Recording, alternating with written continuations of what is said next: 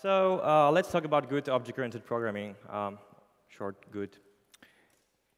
So my journey started during my studies. Uh, I learned C++ and then Java. Those were two uh, first object-oriented languages that I learned. Um, and it was really great. Um, it was great because I learned about objects and interfaces and messages and encapsulation. Uh, and I stopped, started learning programming during my studies, so we started with some basics uh, uh, using languages like Turbo Pascal or C. So when I learned object orientation, it was so great because we started using classes and we started using normal words like person or a group and we started working on projects uh, with small teams and we started discussing classes and roles and responsibilities and it was just great. Uh, it felt really, really magical for me. Uh, truth is that during my first years of studies, I wasn't even sure if I'm going to be a programmer. Uh, I thought that it's not for me, uh, but once I saw object orientation, I was like, yeah, yeah, that's it. This is nice. I can do that. And then I got my first job. so that was a bummer, but uh, well, I was still a student, student, so it was cool. I got my first job, so okay. And I started working with code like that. Uh, if you've done any PHP, uh, you've probably seen it. Um, but I'm showing this to you because uh, I was seeing functions. Uh, I was seeing functions everywhere. And after my studies, I wasn't even sure what functional programming is. Everybody was talking about object orientation, and I started using PHP, and I started seeing those functions, and function, and function, and function. I was like, functional programming is ugly. It's just ugly. I want objects, I want classes, because it's beautiful. I can organize my code into classes and objects and interfaces, and it's going to be great. And then I discovered that PHP has object-oriented features. So it's like, yes, I can do that. It's going to be awesome, right?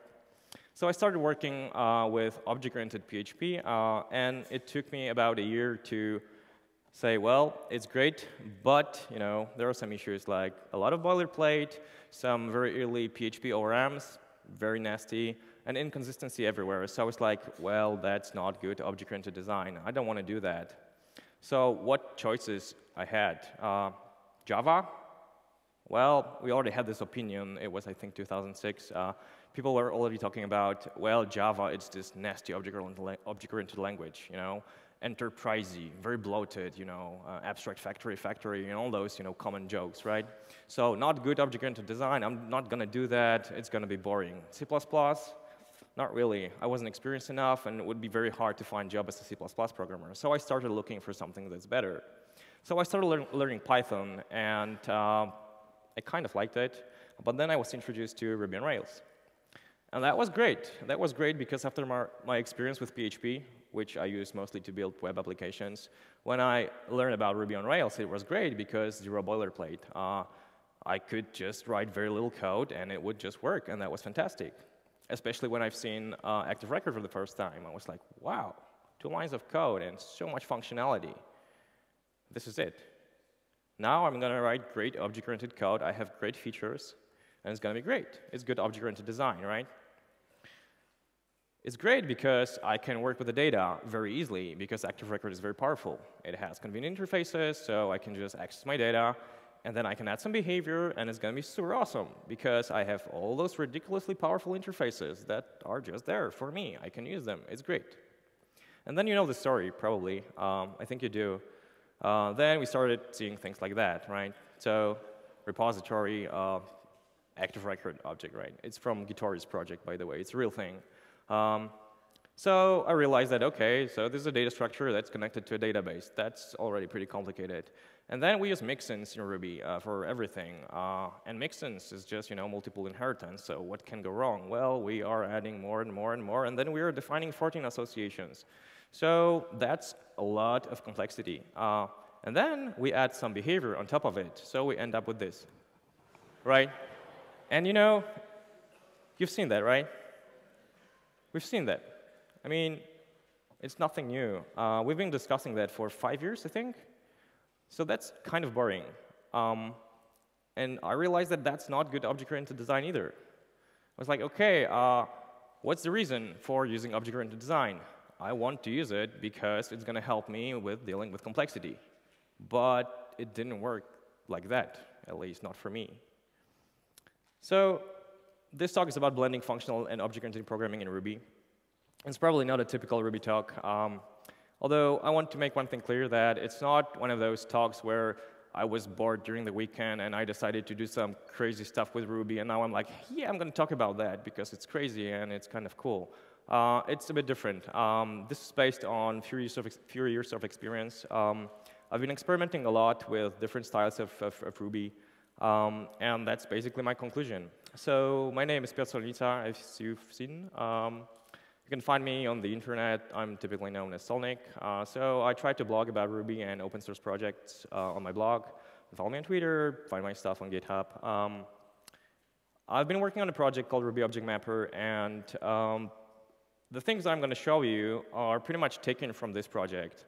They were born while we were working on this very project, so it's a pretty important project for me uh, because of that. So my path to good object-oriented design leads through functional programming, and it was an accident. Uh, it's not like I've learned functional programming, and then I was like, now I want to write Haskell, but I will use Ruby syntax, or now I will write Elixir with Ruby syntax, because didn't, this, this didn't work like that.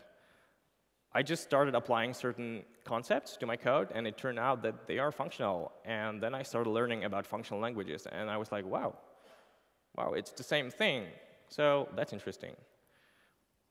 So the, th the first thing that I want to talk about are functional objects. So functional objects uh, have uh, a lot of uh, common concepts. Uh, they follow common conventions, uh, or even rules, I should say. And the first rule is that they are immutable. And when I say immutable, I mean immutable because in Ruby, it's kind of difficult to have truly immutable objects. Uh, to have a truly immutable object in Ruby, you would have to deeply freeze it, uh, which means that you're going to have some code that is very, very slow. On a larger scale, it would be too slow. So there are gems that do that for you, but I stopped using them because of the performance issues. But they help me to understand how to design my systems in a way where objects don't have to change. So the second thing is that the uh, functional objects have common interface, which is method call. It's the only method, the primary interface, that is used to trigger some behavior of a, of a given object. Now, I'm not saying that this is the only method that I implement. That would be kind of stupid. But there are many other methods that I can implement, but the primary method, the method that triggers the behavior, is call. And it always receives an input. And it has no side effects. It means that if, in, if call method received a hash, it will not change it. Please don't change hashes that you receive. Don't assume that you own them because you don't. So no side effects also mean that the object itself will not change. So that's important. And they always return some output. And it's also important because when something receives an input and returns some output, you can continue with the processing. You can apply more and more uh, functionality. Um, so you probably noticed that we're talking about objects that work like functions, which is pretty cool. So the first thing is to get rid of immutable, immutable objects. Um, as I mentioned, immutability is the first rule, the first convention. Uh, and it's really important. And even though the implementation and the kind of technique that I use is very simple, uh, the uh, effect of applying this technique is pretty mind-shifting. And it's a long process to actually understand how to design your system in a way that your objects won't have to change.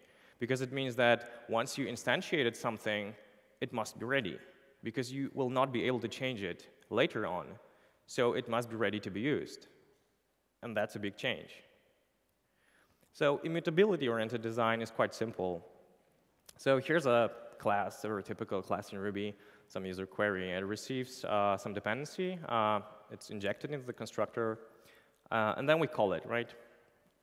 So it's typical to define interfaces that allow you to change an object, which means that when we use this object, we instantiate it with some query, then we call it, and then it's possible to change it.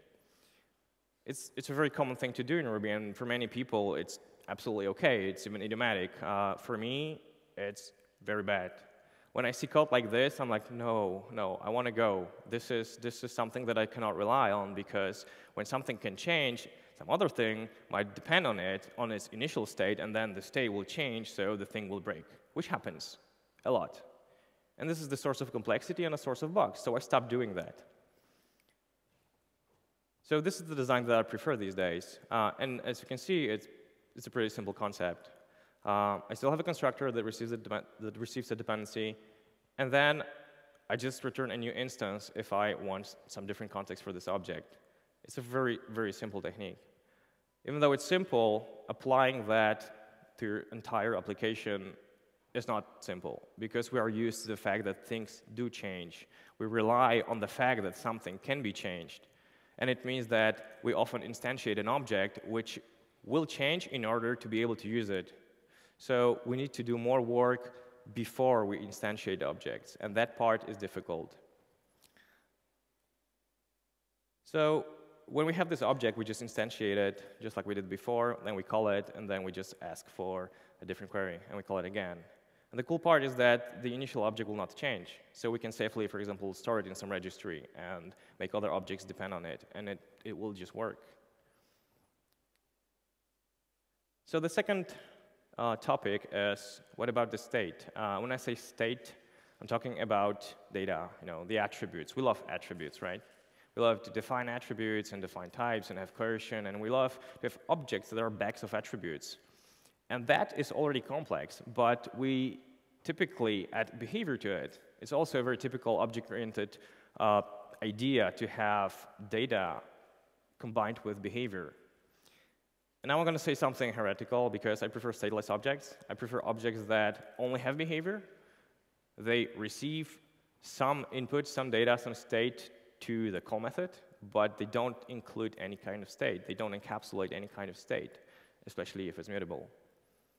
So that's heretical. I mean, you're like, whoa, what? I mean, we have, we have objects with state everywhere, and it's object-oriented, right? Now, it's OK. I mean, it might be surprising, but it's OK. So here's a typical uh, class in Ruby. Uh, let's say we want to persist a person. So a typical thing to do is to pass the person to the constructor, assign it to an instance variable, and then have a method that will use some external dependency to save this person. Now, there are a couple of problems here. So the first one is that we pass the state to the constructor, which means that we turn this object into a stateful object, which also has functionality, which is persisting the, the, the person, which means that we coupled this object to a specific kind of person, which means that it's not flexible, it's not reusable, because we can use it just once. And then we do a common mistake of coupling this object with a specific class we didn't use dependency injection, and that's just more coupling, and it's also less flexible. So when we use this object, we can instantiate it with the hash, for the sake of simplicity, and then we call it, and then what? Then, then we can't do anything about it. It's just a throwaway object, because we use it once, and we cannot reuse it anymore. And it's a problem because if we want to do something else with this person, it's not that simple, because now it's the part of the internal state of this object. So composing more functionality, it's not that simple anymore. So the design that I prefer is to use constructor just for one thing, and is the dependency injection. I'm no longer discussing things like what should go to the constructor. I decided to always use it just to inject the dependencies, if there are any. So this means less coupling, because this object is now coupled to the idea of user repository, but not to a specific class and it simply uses its interface. So it's definitely less coupling. It's more flexible. And then we pass in the input to the call method, which is nice because we can do this. We can instantiate the object, we can call it, and we can use it many times. Now, it's a small change, it's a small difference, but it has big impact because we can instantiate objects just once and then reuse them many times. So the outcome of this design is that you separate the structures that your application is working with with the behavior, which is kind of against object orientation. It means that suddenly all the data that you receive uh, or extract from some database becomes something that's first class. It should be a concept in your application. It should be well defined. And there are libraries that do that, but it's like a separate subject for a separate talk. So I just, I just want, I just want to mention that. the nice aspect of this design is that once you have those data structures, you can easily add more functionality implemented inside small objects that will rely on those structures. And it's absolutely simple to do that. It's way simpler than having objects with state and then trying to figure out whether you should use inheritance or include a module or whatever, because you just simply compose functionality together and, and the data structures are just passed in from one object to another. It simplifies your code. When you don't mutate anything and when you use immutable objects, it's really simple to com compose functionality. You have objects that don't change, so you can safely rely on them. Nothing will break because nothing changes. So if you want to, if you want to compose uh, some more complicated functionality, we can use a couple of objects and just call them like that. And it, it looks pretty much like calling functions, right? So the downside of it is that Ruby doesn't have any built-in uh, interfaces for this kind of object composition. But it's OK. We can implement our own, right? So I'm going to talk about a couple of functional interfaces that um, I implemented inside Ruby Object Mapper, and now they are being extracted into separate gems. Um, I found them to be really powerful, um, surprisingly powerful. So the first one is autocurry. Sorry you were hungry, so uh, I forgot that you were hungry. That was, that, that was a mistake, sorry. Uh, so autocurry is a, is a, simple idea. So let's say we have a class log event. Uh, it uses a logger to write some logs, and it has an interface where the call method can receive a type and a payload. So we can use a small extension. It's called autocurry. It's not released yet, but I will do that like tomorrow, I think. Um, it allows us to include a small extension and then say that the call method will be lazy. What it means is that we can create the instance of this object and then call uh, this object with just, first, just the first argument. And it's going to be partially applied which means that we can call it again with the remaining argument, and it's going to work. Now, I know, it's weird. Like, what is this? That's confusing. Uh, well, it's not that weird. Uh, in Haskell language, every function is lazy. You can partially apply arguments to any function. You can compose them, and things will just work. So it's not a really crazy idea. It's something that is pretty fundamental in some languages. It's also a very small I would say, lower level building block for some high level functionality that gives you a lot of flexibility.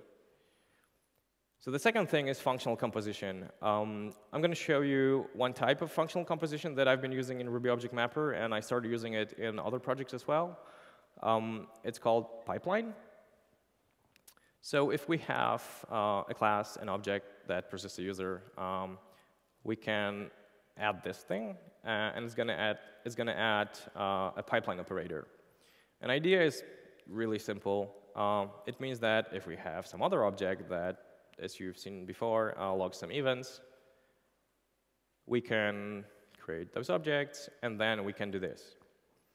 Uh, this means that we're composing a pipeline, which means that create user will persist the user, and then the output of this operation will be passed to the log event. And log event is partially applied, which is cool because it will do what we expect it to do. And we don't need extra classes, we don't need extra abstractions. It's a simple idea. And when you look at the uh, implementation of this operator, it's actually pretty object-oriented because it's object composition under the hood. We have a left side and a right side, and then we call the result from one side with the other one. So that's pretty simple. So yeah, that's also confusing, right? I mean, pipeline operator, what are you talking about? That's just crazy. Uh, but it turns out that in Elixir language, you have exactly the same thing. You have pipeline operator, which looks a bit different, but it's the same concept. You're composing some functionality from small pieces to get some more higher level concept back, and then you can just use it. And it's extremely powerful. So what happens when we combine those techniques, those functional techniques, functional ideas, and some functional rules like immutability with object orientation? So first of all, when we start treating immutability as a virtue, as something that is actually beneficial, when we start having objects where, where mutation is just not possible, uh, or discouraged at least. We have consistent and side effectless interfaces, and that leads to great composability. It turns out that you can implement a lot of functionality in very small objects and combine them however you want, and it's very, very simple.